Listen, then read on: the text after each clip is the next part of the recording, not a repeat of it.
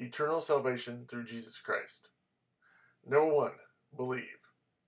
For God so loved the world that he gave his one and only Son, that whoever believes in him shall not perish, but have eternal life. John 3:16. Number 2, confess.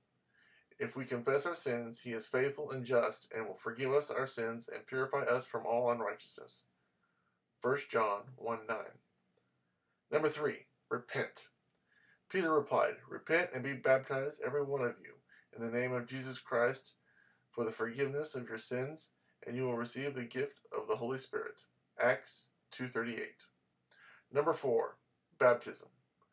Jesus replied, Very truly I tell you, no one can see the kingdom of God unless they are born again.